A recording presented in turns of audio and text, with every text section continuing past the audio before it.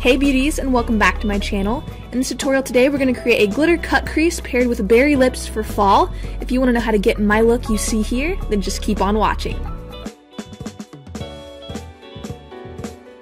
Start this look out, we're priming today with the Becca Backlit Priming Filter, a favorite of mine for many reasons, but mostly because it's super hydrating and adds so much luminosity under that foundation. So next I'm going to apply a Mist On Moisturizer for some more hydration, and this is by Pixi by Petra, and this is called the Milky Mist. I'm just going to spray this all around my face. Using the Makeup Forever Ultra HD Stick Foundation, we're going to create a flawless base, and I mean flawless because this foundation is just out of this world amazing. It's full coverage and dewy, and it really doesn't get any better than this right here. To blend out, I'm using a damp beauty blender and just blending right away. To conceal and highlight, we're going in with the Kat Von D Concealer Cream in L5, and I like to draw a triangle under each eye going back to my hairline and ear area.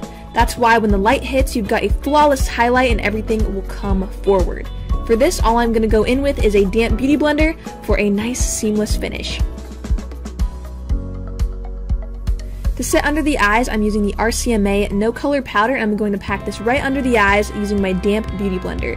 Then I'll wait about 3 minutes and just dust this right off.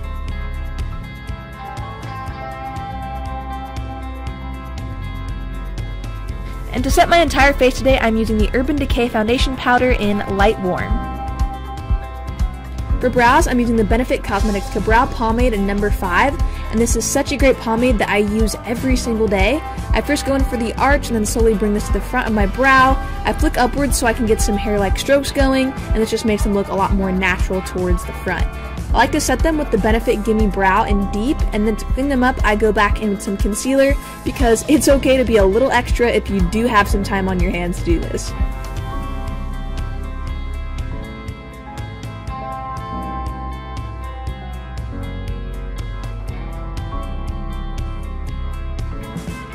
For eyes today, we're going to start out with the shade Tempera from the Modern Renaissance palette by Anastasia Beverly Hills.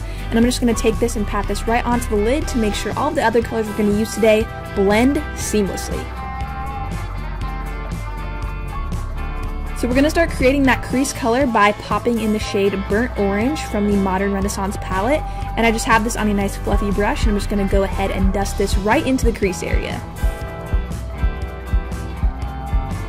Going back in with the shade Raw Sienna, I'm going to layer this right on top of Burnt Orange to add some depth to this look.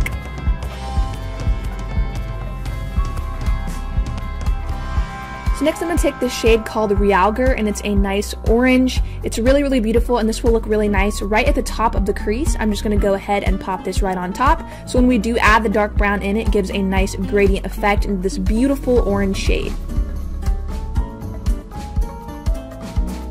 Going in with the shade Red Ochre, I'm going to start cutting that crease. I like to use a very small brush and just start mapping this out first. I like to start at the high point, wing it out, and then follow through by bringing the shadow inward. To create some depth, I picked up the shade Cyprus Umber, which is a nice, deep, rich brown, and I'm just going to be adding this right at the base of the crease. That way, when I add in the concealer later, the darkest and the lightest points will meet together, really creating that cut crease and tying everything together.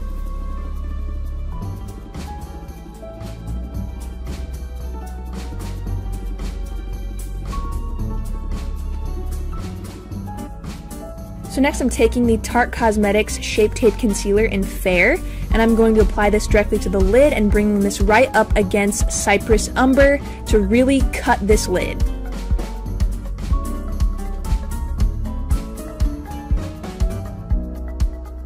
And next to set the lid, I'm going to go back in with the shade Tempera and add this right directly where I applied the concealer, and this is going to be our lid shade. If you lose any of the shade Cyprus Umber, you can go back in with your brush and add a little bit over the area that you applied Tempera.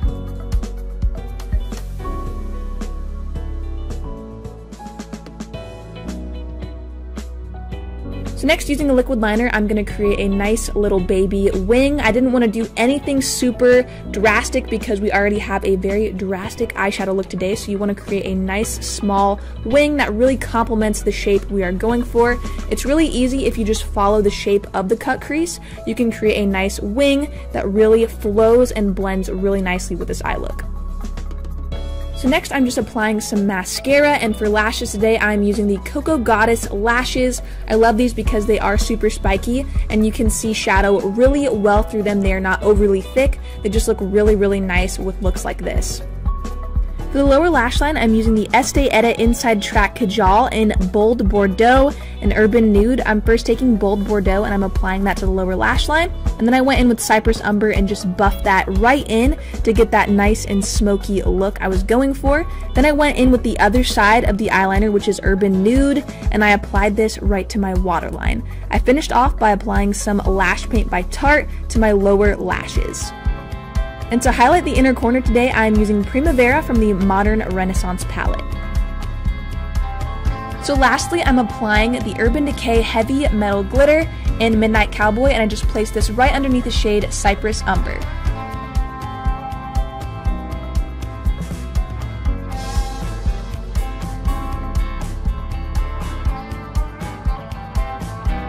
So this is a final look at these glitter cut crease eyes. I love the way they turned out, and I hope you guys like them too.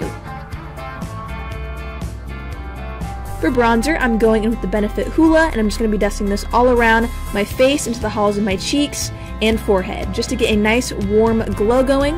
I'm also going to be doing the usual nose contour with the same bronzer, and after I've contoured out that nose, I like to go in with some face powder on a very small brush and start buffing this in to blend out a little bit.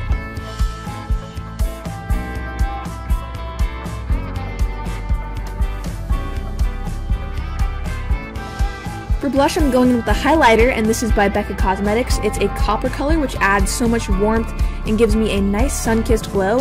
I really like how you can actually use this all around your face, and it looks very sun-kissed, and it has a light shimmer to it. It's really, really beautiful.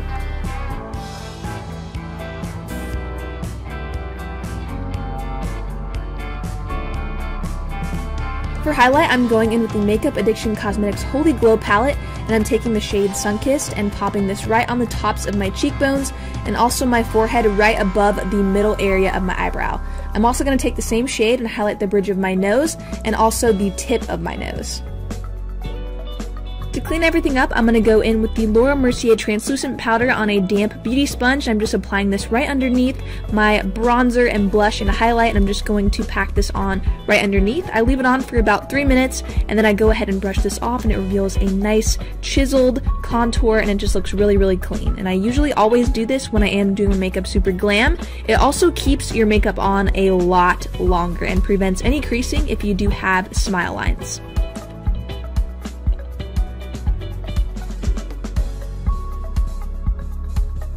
For lip liner, I decided to go with a beautiful shade by MAC Cosmetics. This is Night Moth. It's very vampy. It's super versatile for a lot of fall lipsticks. That's why I really, really love it. And it's just a nice deep berry shade. So I decided to go for more of a pointy cupid's bow today. But other than that, I'm just lining my lips like I normally do.